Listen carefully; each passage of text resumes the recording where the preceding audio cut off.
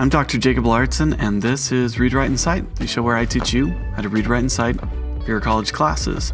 In this video, I'm going to talk about how to write a paper in Microsoft Word or any similar word processing program like that. I'm gonna t- I'm gonna start with a story. Um, when I was in college, I thought I was pretty smart. I thought I was pretty good with computers. I'd, I'd done a lot of papers, countless papers. It was probably my junior, maybe even my senior year of college. I was uh, I was over at my brother-in-law's house writing a paper, and I didn't I, I didn't know how to put page numbers on my page. I was just typing it, and and uh, this is a total waste of time. I didn't even know that there was an easy way to do it. Tell my brother-in-law, he's like, "Hey, why don't you do this?" Boom, does it real fast. And I'm like, "Oh, oh I didn't know you could do that." And so, some of the things I'm going to go through, maybe they're uh, super easy, maybe they're not. But I'm going to go through things that I think everybody needs to know um, to write papers. I'll talk about the difference between MLA, APA, because they're the most common probably, and uh, hopefully help you out a little bit. Okay, so I've got Microsoft uh, Word 2016 this is at the end of 2018. 2019 is slowly coming out, but I've got Office 2016 on my computer right now, and it's got a lot of great features to really help students do well. As you notice, I went to open up a new one, a new document, and there's a template right there to do an MLA style paper. I could just click on that, and it's going to have all the formatting done for me. Likewise, I could find a template because they have templates for APA, and I just click on it and it'll be set. Now, this is going to be stock, um, MLA or APA, just the, the basic core rules with a bunch of samples to kind of show you what it looks like. That's what Michael, uh, Microsoft Word has done. But let's say your teacher gives you a different rule. They're like, I want you to use this font and this font size and this spacing, and, and they start giving you some specifics which maybe don't follow these rules. I'm going to show you how to fix all those things. So let's do it. We're going to start with a blank document and uh, go from there. One thing to be aware of when we're uh, we're getting started is you don't have to pay for Microsoft Word to have access to it. Here's the cool thing: anybody can get a free Microsoft account. It's the same account you use if you have an Xbox. Um, if you have uh, email through Microsoft, it's all the same account. You can get it for free, and it's going to give you a certain amount of storage. With that, you can just log into the website and get free access. The same is also true with Google. Um, I'm not going to be talking about Google today, I'm going to be talking about this, but you can get this for free. If you are a college student, there's a chance that your institution um, may have free access to Word for you, something that they've paid for, um, or you know, Google Docs or something like that. So you don't necessarily have to pay for it to have access to it, but most word processors are going to be pretty close on how they work. So I'm going to cover the basics and hopefully that helps. All right, so I've got a blank document here. If I was going to uh, set this up for a paper, the first thing I probably want to do is double space it. So we need to know how to double space. This icon right here that has the arrows going up and down, it's the line and paragraph spacing icon. And in newer word processors, you're going to have a button like this. Um, older ones, you may have to go into paragraph settings to adjust it, but I'll show you both ways. So I can click here, and it's going to give me options. And if I go 2.0, everything's going to be double spaced. That's it. Now, there doesn't look like there's a difference, but the entire document at this point is double spaced.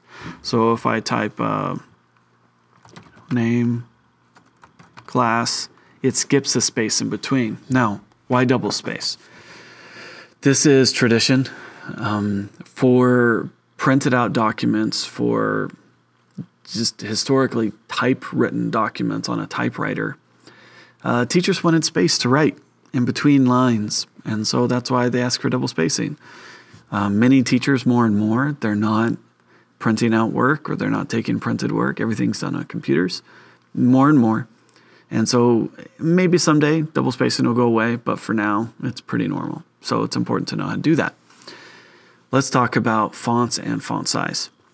Okay, so right now you can see Microsoft has automatically chosen a font called Calibri and they put it at size 11 font. What if your teacher wants something different? You know, if they're like everything has to be Times New Roman size 12, well, then you need to know how to change that. Go up to your font and you're going to be able to choose from a list. I clicked on it. You can uh, you can scroll down. You can also type first letter, and it's going to get you closer. So I clicked Times New Roman. It's adjusted it. I'm going to click here while everything is selected and choose size 12. So from here on out, because everything in the document was selected, everything will be double spaced, everything will be Times New Roman, everything will be uh, 0.12 font size. That's pretty standard. Um, I, most teachers probably aren't going to argue if you do that. Not everyone's going to require that, but that was the standard for a long time. So your teachers may expect it. Okay? All right, from here, we're going to talk about how to do what I didn't know how to do, which is add page numbers. Now, in Microsoft Word, you can go up to Insert, and it's going to change this top part of the page, which is called a ribbon. I don't know how they came up with this name, but it's called a ribbon. And you're going to see there's a section here for headers, footers, and page numbers. Page number is basically automated text that shows up in either the top or the bottom of the page. Things that you put in the header, they're going to show up on the top of every page. Things that you put in the footer, they're going to show at the bottom of every page. In uh, academic papers, you don't, all, the repeat uh, content is going to show up in the header. So you could click here, but what we want is we want it to show up over and over again. So what we really want is to just add a page number instead of typing in text. Because if I type text, the text is going to repeat, but it's not going to update for each page. So that's not what I want. What I want is a page number. So I'm going to click page number. And I'm going to have the option for top of the page, bottom of the page. I can stick it off into the page margins or something like that. I'm going to put it in the top, and it gives me some options. Now, they have a lot of options which are kind of fancy. Um, academic papers aren't calling for fancy. APA doesn't ask for it. MLA doesn't ask for it. Unless your teacher asks for it, don't do it because you're uh, you're not following a standardized rule. So I want mine in the right hand corner, so I'm going to click on that. Now what it's showing me is there's this dotted line which will not show up on the document, and it's showing me the separation between what's being typed in the document and what's showing up at the top. Now I can choose whether the, the first page or odd even pages are different. That way, when you have pages that face each other, things are different. Academic papers don't really care about that. That's more for fancier formatting. So you don't need to mess with that. But what you do know, maybe you need to type your name. Uh, MLA and APA both ask for this, so I'm going to type my last name and boom. But you'll notice it's not the same font, so again, I'm going to have to change it. Now, what's in gray here that is being automated. If I delete that, it will disappear and it won't show up on all my pages. I'm going to select all of it, and you see it's highlighting it differently because it's uh, some automated text. Whatever the page number is, that's the number that shows up there. I've highlighted everything. I can go back, or I can, uh, if I'm in Word, I can right click and there's things that you can do. But, man, my computer's going slow. It's got a lot to think about. Okay, here in the latest couple versions of Word, this little prompt shows up automatically. Uh, right from here, I can choose Times New Roman and I can go to 12 so that it's consistent with the rest of my document. Now, when I'm done, I just double click off and that's it. I don't have to worry about it. Now, it grays it out. It won't be grayed. It's just showing you this is not active right now.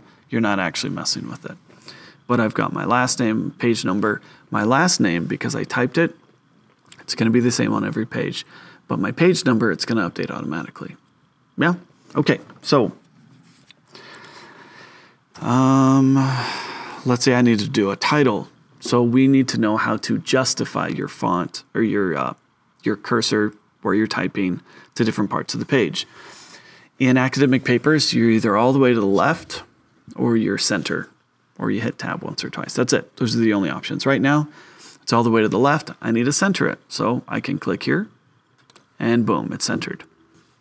You can tell this shows the text to the left, this shows it centered, this is right justified, and this is a block justify. So it tries to keep the margins even. Uh, unless you're doing fancy documenting, you, you probably don't need that. Academic papers, they don't care. So I can just type uh, title, hit enter, and it's going to keep that. But if I want to go back, I just hit that and I'm good. Or I can also just hit delete and it knows to go back automatically. Um, and both MLA and APA, you just hit tab. Tab's automatically going to uh, to jump ahead a specified uh, amount of space. With what we've talked about already, you don't have to hit tab a bunch of times to get to center, and you don't have to hit space a bunch of times to to indent. You just hit justify it the way you need to, or you hit tab. Does that make sense? Hopefully, this is not new to you, and you're like, well, yeah, I know how to do this, and that, that's great. You probably wouldn't have clicked on this video to begin with.